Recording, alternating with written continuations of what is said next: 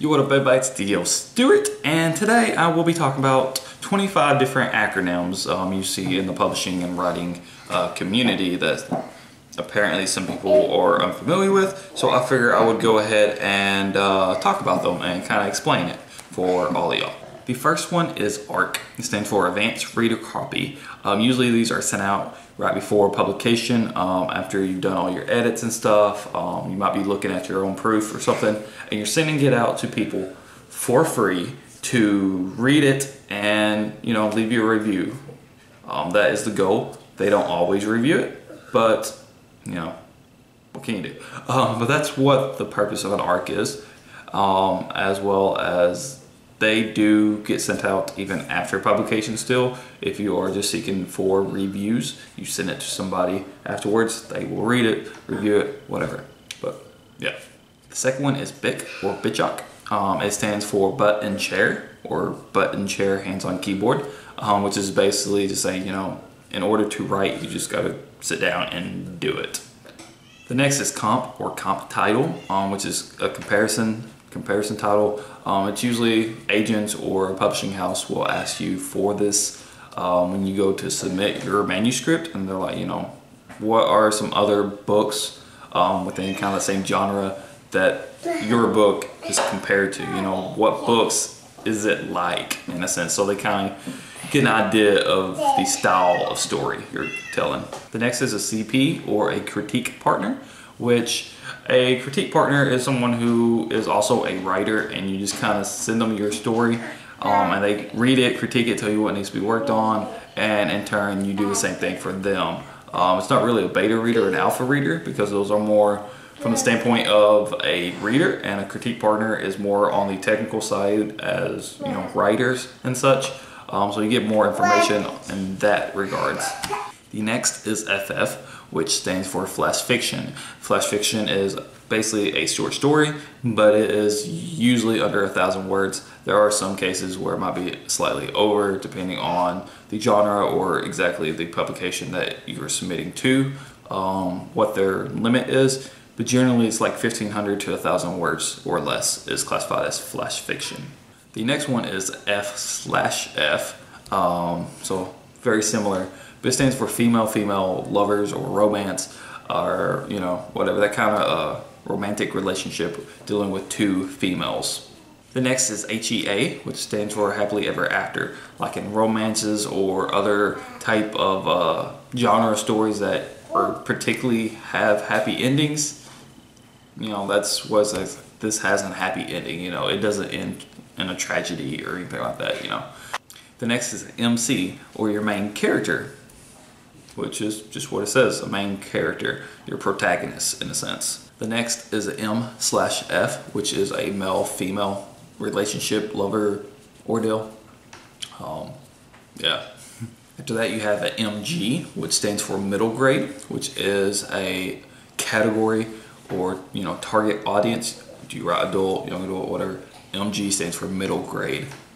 And then you have M slash M, which is a male and a male lover relationship um, type of romance or something like that. The next is the MS, which stands for your manuscript, which is the actual bulk of your story, what you are writing, your copy, that's your manuscript. Um, that's what you submit to an editor or an agent or a publishing house or whatever. That's your manuscript. Next is an NA, which stands for New Adult, which is, again, another target category. Um, you are writing to that tar target audience.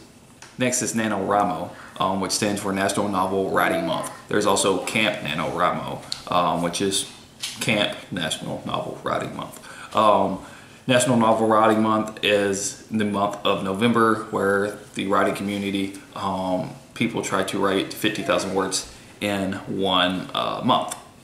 Um, and that's usually where a lot of people's like, okay, this is what I'm really gonna work on my story or whatever, but that's NaNoWriMo. Um, Camp NaNoWriMo is uh, usually in April and July.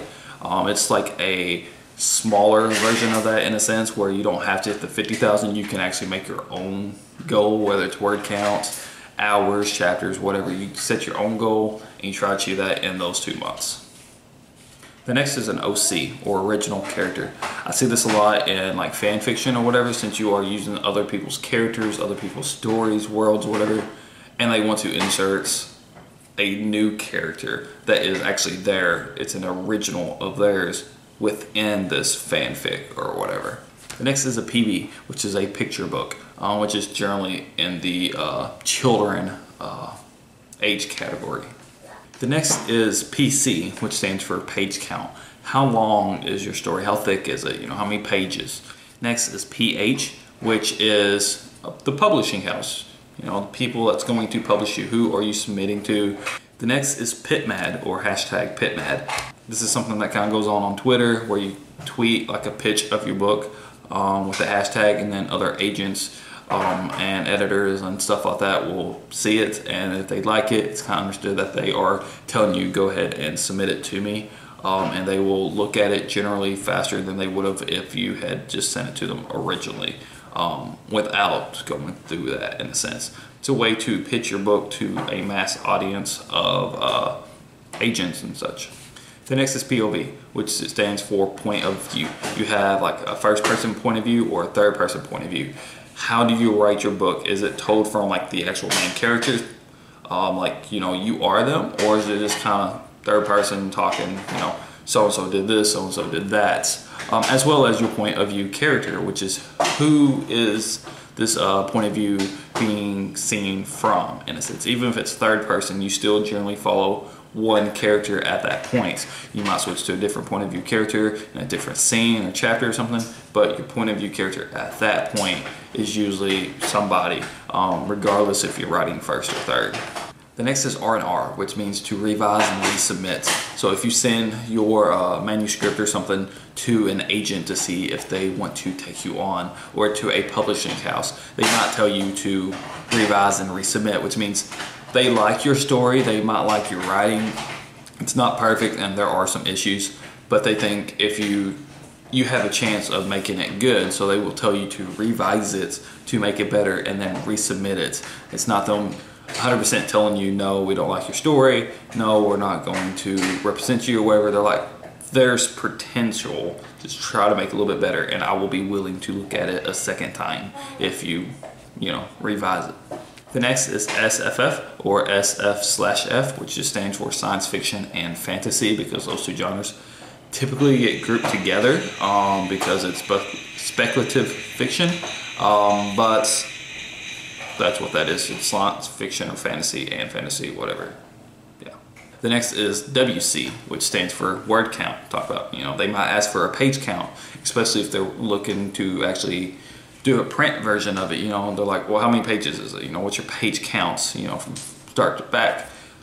The Battle for Metagore was 510 uh, pages. Um, not the actual bulk of the manuscript. I think it was like 502, but once you throw in the acknowledgments and the cover pages and all that stuff, it was 510. So they want to know that so they know exactly how much pages it's going to take to print the book so they know how much it's going to cost to print it word count is kind of in sense the same thing. They know, you know, about how many words they can fit on a page, yada, yada, yada. They just want to know the how big your book is. The next is a WIP or your WIP. Um, that stands for work in progress. What are you currently working on? What story are you currently actually writing? Not, not what you've got done or anything, but what you are working on, work in progress. And then the last one is YA, which stands for young adult. Um, it's not a genre, like a lot of people try to classify YA or new adult or something as a genre. It's a target audience in a sense. What age group are you targeting? Um, so that's what that is. But yeah, that was 25 different acronyms um, in the publishing and writing world. Um, I will be doing a like follow up on this with uh, other terms and stuff that you know, are thrown around a lot that some people might not be aware of what they mean or anything later on in the future. I think maybe next month or the month after. Um, I can't really remember. I'll have to look at that. Um, but yeah, this is the actual acronyms. Um, I figured I'd do this first because I figured that would be the more confusing because it's kind of hard to look up some of the acronyms because they might actually pull up something else um, in reference to a different type of category or something like that, like PC, page count, but you look it up, it might be personal computer or political correctness or whatever. So I figured I would go ahead and do this one first and just get that out of the way. But yeah, I hope y'all enjoy this. If there's any other acronyms or whatever that you are unaware of or that you know others might be unaware of um, that I didn't mention in this, go ahead and comment down below and let me know and I might throw it in to the next video later. Um, and yeah, so yeah, that's about it. I got Facebook, Twitter, Instagram, Pinterest, YouTube. I got a Patreon account. You can go and support me for as low as a dollar a month. I'm on there. And you can get some cool exclusives. And uh, that book right there is available on Amazon, Barnes & Noble, Books Depository, Indigo, IndieBound, Walmart, and a bunch of other stuff. All those links are down below, as well as all my uh, social media links are down below.